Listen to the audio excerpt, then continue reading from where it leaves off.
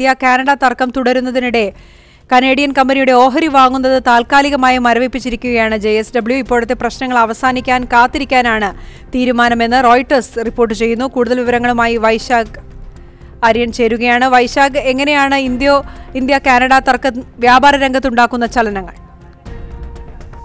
India Canada നയതന്ത്ര തലത്തിലുള്ള തർക്കങ്ങൾ വ്യാപാര രംഗത്തും പ്രതിഫലിക്കുമെന്ന് നേരത്തെ തന്നെ ഉറപ്പായിരുന്നു. സ്വതന്ത്ര വ്യാപാര കരാർ ഇരു രാജ്യങ്ങളും തമ്മിൽ മുന്നോട്ട് കൊണ്ടുപോകുന്നതുമായി ബന്ധപ്പെട്ട ചർച്ചകൾ ഈ വിഷയം ജസ്റ്റിൻ ട്രൂഡോ ഉന്നയിച്ചതിന് പിന്നാലെ താൽക്കാലികമായിട്ട് മരവിപ്പിച്ചിരുന്നു. ഇതിന് പിന്നാലെ വ്യാപാര രംഗത്ത് ഈ ഈ തർക്കം കൂടുതൽ പ്രതിഫലിക്കുന്ന കാഴ്ചകളാണ് കാണുന്നത്. റോയിട്ടേഴ്സ് ഇക്കാര്യമാണ് റിപ്പോർട്ട് ചെയ്യുന്നത്. അതായത് ജെ ഇന്ത്യയിലെ ഏറ്റവും പ്രധാനപ്പെട്ട സ്റ്റീൽ അതുപോലെ തന്നെ സിമന്റ് ഉൽപ്പാദക കമ്പനിയായിട്ടുള്ള ജെ എസ് ഡബ്ല്യു കനേഡിയൻ കമ്പനിയായിട്ടുള്ള ടെക് റിസോഴ്സിൽ നിന്നും ഓഹരികൾ വാങ്ങാൻ തീരുമാനിച്ചിരുന്നു. ഇതിന്റെ നടപടികളുമായി മുന്നോട്ട് പോവുകയായിരുന്നു. ഏതായാലും ഈ ഒരു തർക്കം രൂക്ഷമായിട്ടുള്ള പശ്ചാത്തലത്തിൽ അത് താൽക്കാലികമായിട്ട് മരവിപ്പിക്കുകയാണ് ജെ എസ് ഡബ്ല്യു എന്നാണ് അവരുടെ തീരുമാനം. മാത്രമല്ല ഈ പ്രശ്നം ഏത് തരത്തിൽ പരിഹരിക്കുന്നു എന്നുള്ളത് താങ്കൾ സൂക്ഷ്മമായിട്ട് നിരീക്ഷിച്ചു വരികയാണെന്നും ഈ ജെ എസ് ഡബ്ല്യുവിലെ ഉദ്യോഗസ്ഥർ ഈ ഇത്തരത്തിൽ പറയുന്നു. ഏതായാലും ഈ ഓഹരി വാങ്ങുന്ന ടെക് റിസോഴ്സിന്റെ ഓഹരി വാങ്ങുന്ന നടപടികൾ താൽക്കാലികമായി വരവിപ്പിച്ചിരിക്കുന്നു. കൂടുതൽ കമ്പനികൾ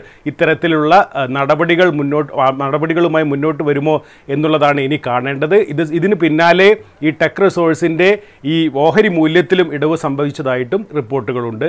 പ്രജുല